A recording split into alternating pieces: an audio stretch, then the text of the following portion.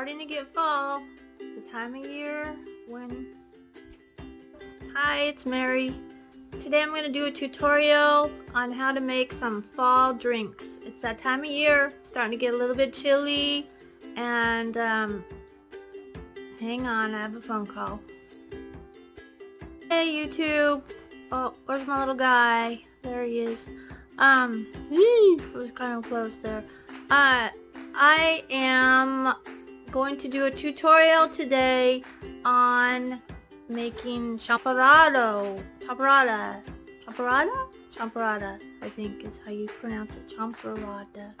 Uh, but it's also a basic recipe for all kinds of fall drinks that you can make and I will explain that as I make it.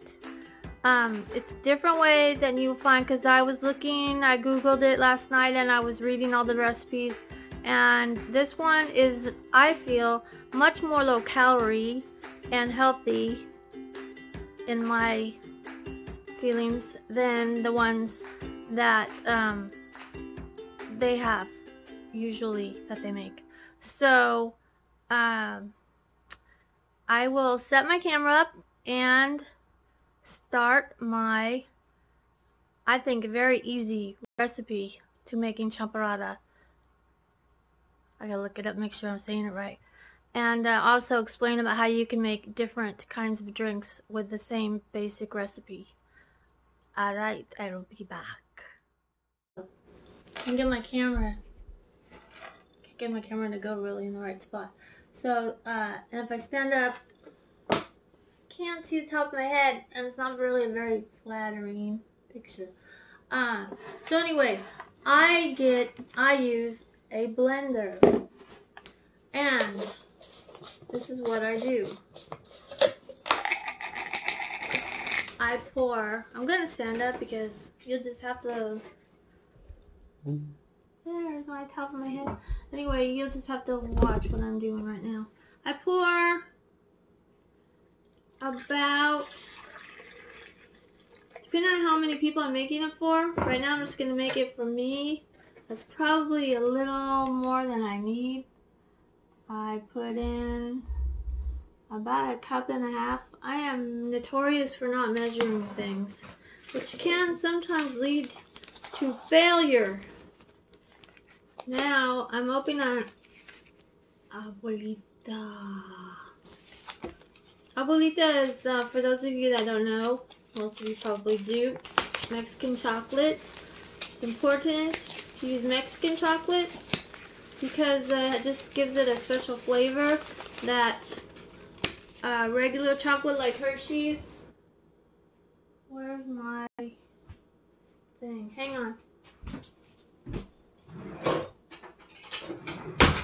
Hershey's or Nestle's or whatever, they don't have the right flavor.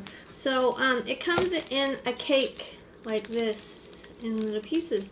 And what I do is I break it up. Sorry. Sorry about that. It's, it's broken up. Um, then, I don't remember I'm putting this little white thing on the back. guess it helps it stay shut better. I put in a pretty good sized piece. Unless you, I mean, ugh, it depends on how chocolatey you want it. You can put a little bit more. I'm gonna put, I'm gonna make it super chocolatey. One More piece. It's be pretty. But this is cool because you can kind of reseal it. Don't remember them doing that before. Comment. Let me know remember that. Now, um, this is an important part of my champurrado. Yeah. Um, I use cornstarch. And this is a basic thing of uh, when you're making other fall drinks without the chocolate, just the milk. I put like, this is like atole. This is kind of how they make atole. A tole is another Mexican drink. It's thick and yummy and creamy and it's basically cornstarch and milk and sugar and flavoring of some kind. So, um, I don't want too thick. I'm putting like three tablespoons of cornstarch. And I I, I like using the blender because it really mixes the cornstarch up. And you put the cornstarch in after you add the milk so it doesn't stick to the bottom of the blender and not get all used. This is cloves. I just put a tiny, not even that much, a tiny bit. Cloves is really, that's all I'm going to put in. Cloves is really, really powerful. It smells good. So put some on my floor. Uh, and then I'm going to put in about a table a tablespoon or so of cinnamon.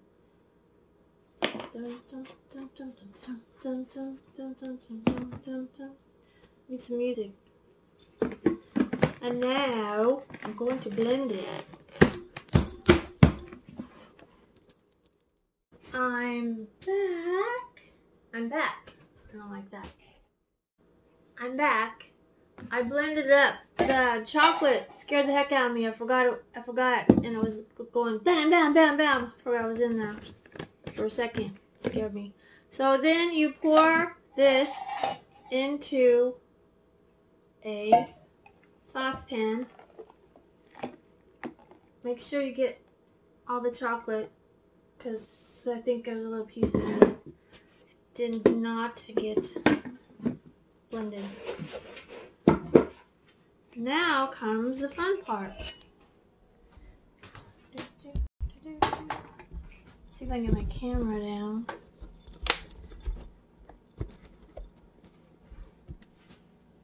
Now you start stirring it. You have it. I have it um, on medium high heat, but you've really gotta watch it because you know milk and heat. Uh, it can scald and it can burn on the bottom.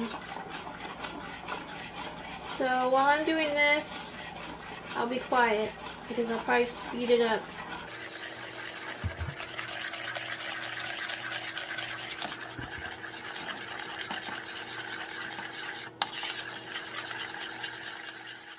The magic is happening.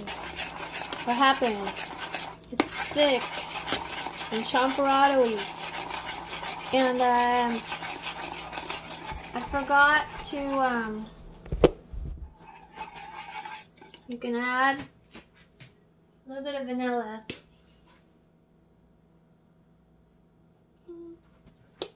And taste it when you can. It's kind of hot. Because um, if you're not using the Mexican chocolate and you're making another kind of drink, which you can do with just about any kind of flavoring, which um, I'm going to post the flavors that I'm going to be ordering, but you can get peach, blueberry, salted caramel. There's so many flavors out there. Maple. Um, there's lots of yummy flavors. And you basically make the same recipe with, um, you use the milk, cornstarch, the flavoring. Uh, you put it in the blender and then you add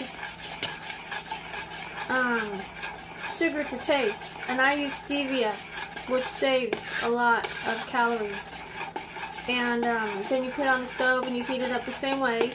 And if you want to get fancy, you can make some whipped cream, which I think um, real whipped cream is the best with um, made, you know, yourself. And you can put a sprinkle of cinnamon, or if it's not a cinnamony type drink, you can put, say you make a blueberry one, you can put a couple real blueberries on it. Um, and you can also use the fresh fruit in the blender. Blueberries, strawberries, mix them in with the milk and the cornstarch, and then heat it up in the pan. And yummy, yummy, yummy, this is what you get. Yeah, it's thick, but it's supposed to be.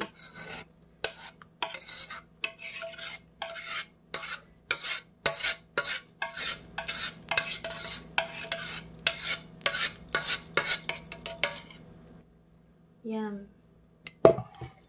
Yum, yum, yum. See, it comes out. Kind of like pudding. I have to go down. Mmm. Mm, mm, mm, Not too sweet. I could put a little more sugar or stevia if I wanted to, but I kind of like it not super sweet. The amount of chocolate that you saw that I put in there was just the right amount. So, came out chocolatey, cinnamony, tiny, tiny bit of cloves, but not really. They put star anise in a lot of the recipes that I saw, but um, I'm not a, a, a fan of licorice flavor, so I left the star anise out. But try this. It's a really easy way of doing it with the cornstarch, milk. Well, you saw everything I put in. Try it and, and let me know how your champurrado comes out. And, uh, and try it with some other drinks. Hazelnut or um, coffee flavored. Mmm, really good. It's um just gives it that extra, the thickness makes it cozy, cozier. I don't know how to describe it. Anyway, I hope you enjoyed this tutorial. Any comments, let me know. Please like if you liked it and subscribe and share. I really, really appreciate it. Champurrado kiss for you. On a side note, on the champurrado, if you put it in the refrigerator afterwards, you will have champurrado pudding. It's really good. My nose is, I know running from drinking the, the hot champurrado. Anyway, uh, I hope you try it and enjoy it. Thanks for watching.